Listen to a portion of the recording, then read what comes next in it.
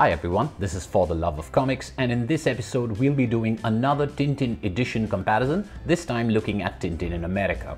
We'll be looking at the original 1932 version represented here in this facsimile edition by Casterman, as well as the redrawn and then translated into English version represented here with Tintin in America's Magnet edition from my childhood, my tattered and well-thumbed and falling apart paperback copy.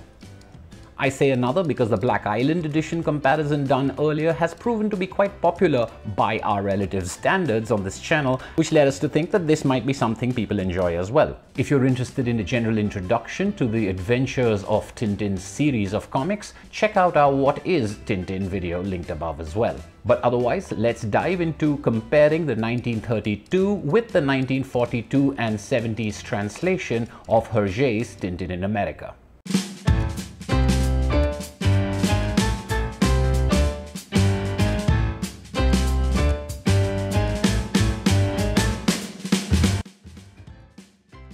Tintin in America was the third Tintin adventure that Hergé published, although most people have probably known it as the first, because Land of the Soviets and Congo were not redrawn and colored by Hergé and not published in the Methuen Magnet paperbacks that made Tintin so popular worldwide. It was also one of nine adventures of Tintin that were originally published in black and white. The Shooting Star was the first Tintin originally published in color, and all of the previous ones were recolored later, and makes for a good basis of comparison between the early and the later Hergé styles.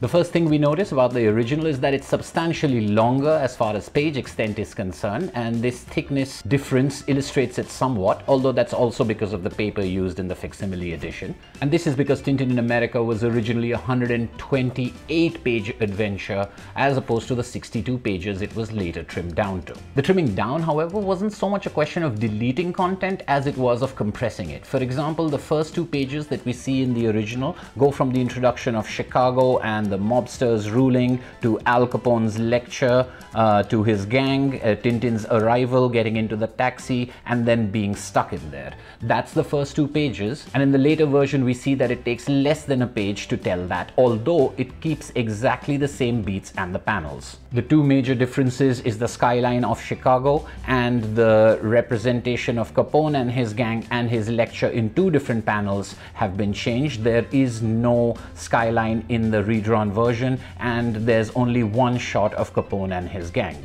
The rest of it stays exactly the same. The one, two, three, four, five, six panels over here are represented as one, two, three, four, five, six, keeping the same angles as well as the same pictures even though they've been redrawn.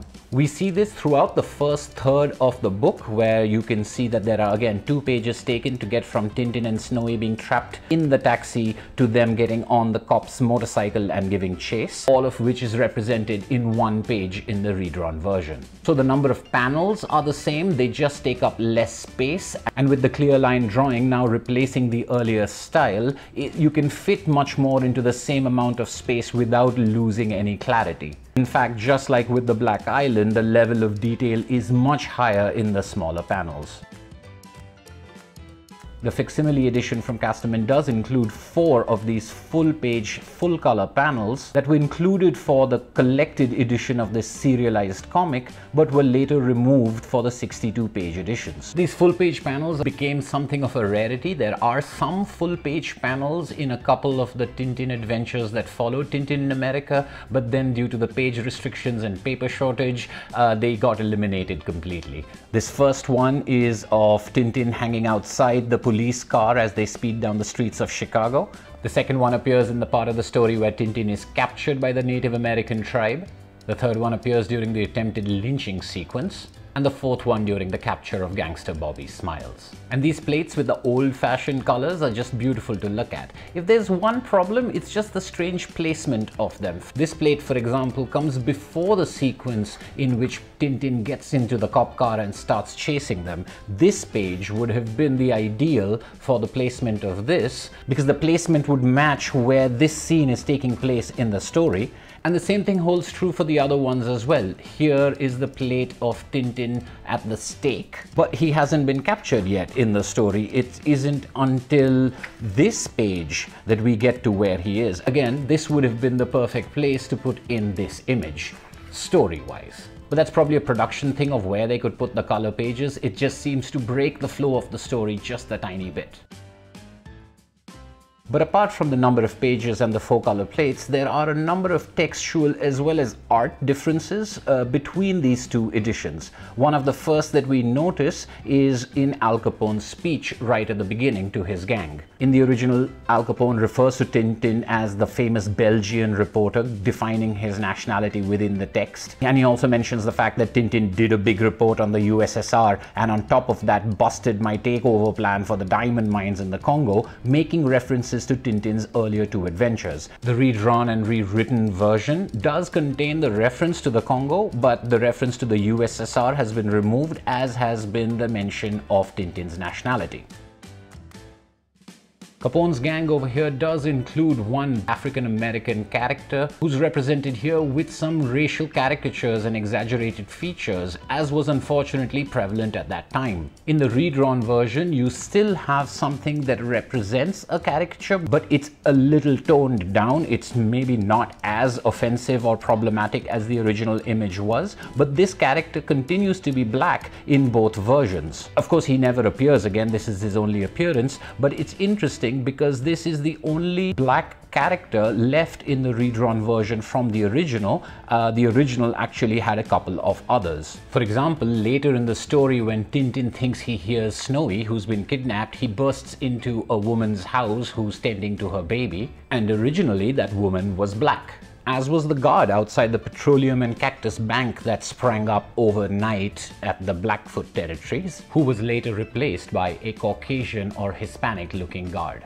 One would think that these were changed due to the problematic depiction of black people in this comic, but from what I read, it was actually at the request of the American publishers before Tintin in America was published in the United States, so as not to represent a desegregated society, which is to say they didn't want it to seem that blacks and whites were living next to each other and working next to each other in the United States and requested that they be changed to Caucasian or Hispanic characters. Tintin in America was informed by and written as a sort of critique of the United States, of its materialism, of its increasing mechanization, as well as the treatment of African Americans as well as Native Americans. This is perhaps most potently represented by the takeover sequence of the Blackfeet Indian land where oil has been discovered, where in the course of less than a day they are evicted by force and a city springs up where they used to live. Something preserved completely and equally impactfully in the newer version.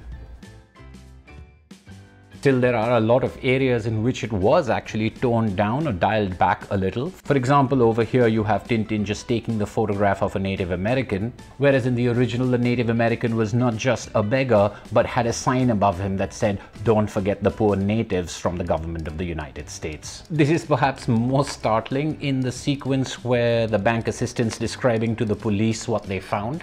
And there is a little bit of a dark joke here in the rewritten version where it says, I raised the alarm and we hanged a few fellows right away, but the thief got clear. But the original actually said, I raised the alarm and seven black guys were hanged immediately, but the crook got away. This is echoed later when the sheriff is listening to the news summary of the day. Uh, the news broadcast on the radio actually says 44 blacks have been lynched, 150 gallons of carbonated chlorine have been seized. The later version changed that to 44 hobos have been lynched, which is still pretty stark, but not as bad as the original.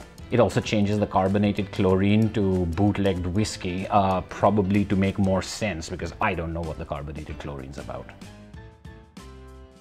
There are a couple of similar culturally oriented adjustments that are fun to observe. In the modern version we're all familiar with, when Tintin visits the grind factory, the meat that's been processed in the grind factory is getting mustard, pepper and salt added to it. Originally, it was mustard, garlic, pepper, salt, ginger, and then something else, which was probably considered a little too French or too European for English and American audiences when it was translated. Also in the factory, when the striking workers comment on the factory, they talk about, about how they process dogs and cats and rats to make hare pate, which was changed to the more familiar salami for Anglophone readers. Another interesting change takes place in the sequence where Tintin first goes to hire a horse. In the redrawn edition, the horse is introduced as Beatrice, Tintin says hello Beatrice. And then both of them are ejected from the stable with Tintin saying I don't fancy the color, I prefer a chestnut. And while we're about it do you have an even quieter one.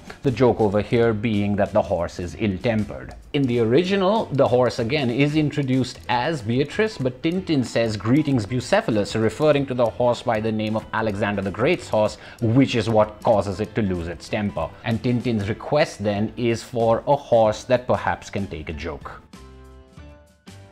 there are a number of changes and adjustments uh, throughout this book. One of the major ones is that in the original, Al Capone, who's the only real life figure to ever make an appearance as a character in the Tintin adventures, appears masked at all times. You never get to see his face. In the redrawn edition 10 years later, Al Capone's scarred face appeared in full.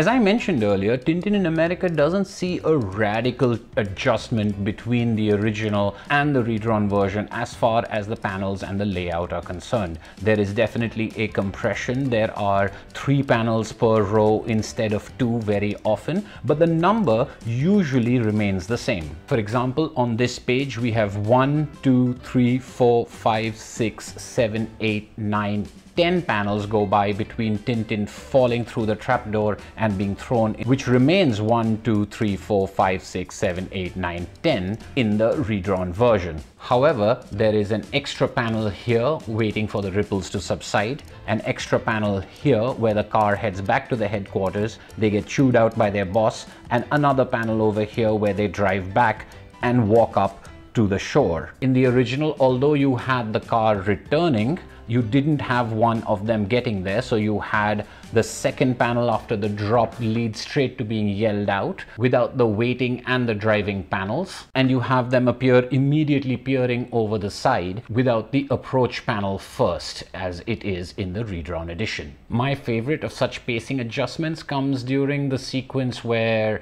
Tintin's doing his Jason Bourne stuff, climbs out of his hotel window and into the neighboring room, which even in the original drawing style is very impressive. The redrawn edition of course gives us that same shot and another big panel in which Tintin peers inside and a second panel in which he's looking at him before he appears right next to him. These extra panels like the ones before really help tease out the scene and even though the newer edition is fewer pages, this kind of edition shows Hergé incorporating backwards into older works techniques he had mastered since then. A number of the small changes made uh, between editions are just changing of names of characters, making them sound more colorful, more gangster-like, maybe more accurate. And one of the funny name changes uh, happens in this sequence where the detective first brings back the dog that he believes is Snowy. He is obviously hit on the head by the true owner of that dog. And in the original, she says, you stole my little Mirza, referring to her dog. In the redrawn version, the dog's name is Fritzy. However, the one joke that gets lost over here comes in the changes made in a later panel once Tintin has captured both of the Grindcorp gangsters. And in the posters of lost pets behind them, uh, one of them says Poodle Popsy. In the original, it was Mirza.